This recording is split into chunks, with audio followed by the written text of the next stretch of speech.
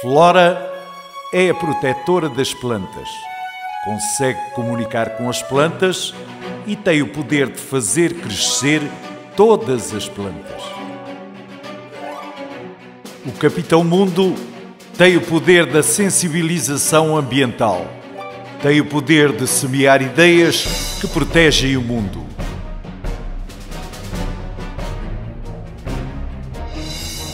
Amaralis é a protetora da fauna.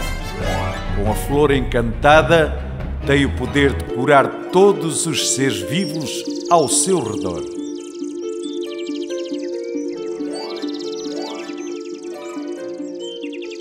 Super Negral é o protetor dos habitats.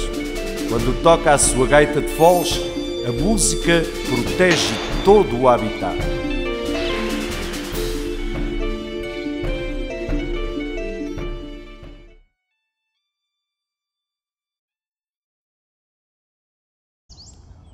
Visita os monumentos de Salvaterra do Extremo. Salvaterra do Extremo é uma bonita aldeia situada nos confins orientais do Conselho de Indanha Nova.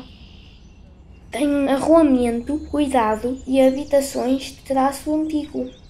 A igreja matriz, a Capela da Misericórdia e o casario da aldeia. Nas proximidades do rio Erges existe uma imponente torre medieval, ainda conservada, designada por Atalaia. Visita Salvaterra do Extremo e dá uma volta até à Torre Atalaia.